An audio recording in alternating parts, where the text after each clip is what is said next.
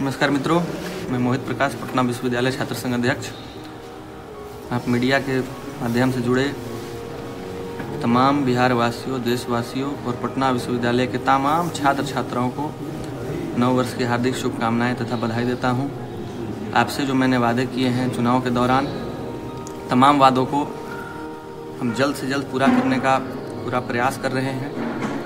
और आपको मैं बताना चाहूँगा कि आगामी कुछ दिनों में जैसे ही पटना विश्वविद्यालय खुलता है तो माननीय मुख्यमंत्री से हम लोग समय की मांग करेंगे, उनसे मिलेंगे। और जो आपसे वादे किए गए हैं, चाहे वो पुलिस टिकट का मुद्दा हो, या फिर बस से संबंधित जो समस्याएँ पटना वुमेंस कॉलेज और मगध महिला कॉलेज में आ रही थी लड़कियों के लिए तो हम लोग माननीय मुख्यमंत्री से मिल करके उसकी मांग करेंगे।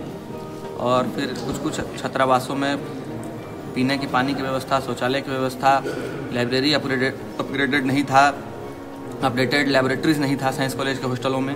तो तमाम तरह की समस्या जो हमारे पास काउंसिल मेंबर्स के माध्यम से, तमाम कॉलेजों से, छात्रावासों से हमारे पास आया है पटना विश्वविद्यालय में।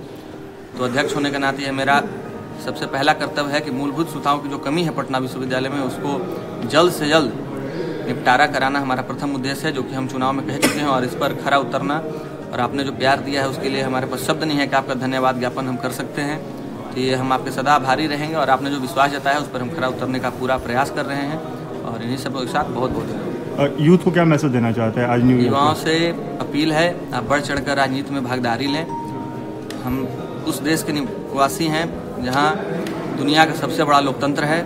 हम आप सब यदि आज युवा चाह जाए तो फिर किसी भी चीज़ को पलटने में कोई असंभवता नहीं है। क्योंकि हम वो युवा हैं जब जेपी के नेतृत्व में यही पटना विश्वविद्यालय के तमाम छात्र थे तो इंदिरा जैसी सरकार को उखाड़ करके हम लोग फेंक दिए थे।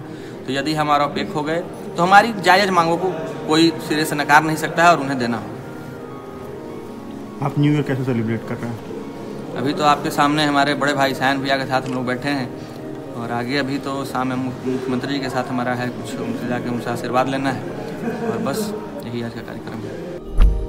आप बताइए, आप कैसे सेलिब्रेट करें न्यू ईयर हम तो वही छोटे भाइयों को सबको सम्मिलित करके, एकजुट करके आगे 2019 में एक संगठन को और मज़बूत करते हुए, युवा संगठन को मज़बूत करने के साथ साथ 2019 में देश का महापर्व यानी चुनाव होने जा रहा है, जिसमें सभी 18 वर्ष से सभी 18 वर्ष से बड़े सभी युवाओं को वोट देने के लिए प्रेरित करेंगे, गांव-गांव जाएँगे और ये मैसेज पहुंचाएँगे कि आपकी एक वोट से पूरी सत्ता बदल सकती है। यही चुनाव में आप कैंपेन करेंगे? चुनाव में कैंपेन नहीं करेंगे। लोग वोट दें इसके लिए कैंपेन करेंगे अपने मन पसंदीदा कैंडिडेट को।